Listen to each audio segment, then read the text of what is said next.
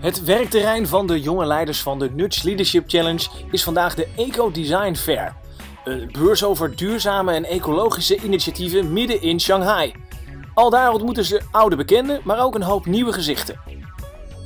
Na nog wat korte presentaties van toffe initiatieven gaan we aan de slag. Lekker interactief dus. Nieuwe ideeën ontwikkelen of de bestaande ideeën toetsen. Oh ja, en echt leiderschap is natuurlijk wel als je iemand uit de groep direct de presentaties laat doen.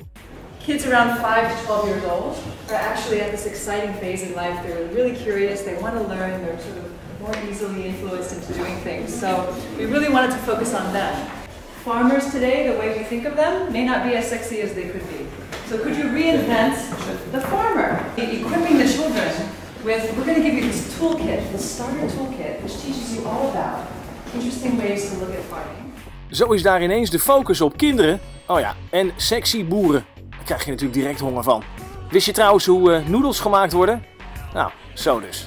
Tijd om te eten en om even na te denken over wat we nu ook alweer gehoord hebben. We vragen het aan Pasha. We hebben net een werksessie gehad.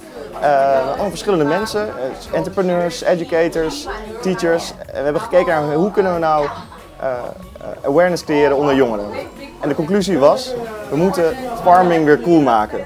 Dus een idee voor een initiatief is Cool Farmers. Morgen meer over de boeren en de kinderen. Maar nu zijn we... Onderweg naar een Chinese familie thuis. Dus we gaan kijken hoe de cultuur daar thuis is. Die ouders zijn er ook, dus we gaan zien hoe die samenwerking is. En we gaan uh, ondervinden wat zij aan voedsel allemaal verspillen. Of niet. We zijn te gast bij Jenny en haar moeder. Schoentjes uit en sloffen aan. Anderhalf uur gesprek op de bank over voedsel. Over de waarde van voedsel en waar het vandaan komt. In dit typisch Chinees ingerichte huis. We krijgen rijstles. En dan komt rijst dus niet uit een pan met water, maar uit een rijstkoker.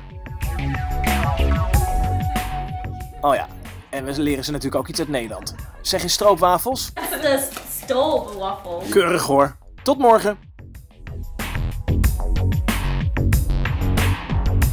Zo, uh, heren. Waar zijn we? Waar gaan we heen? We gaan in de lift, maar we gaan naar boven.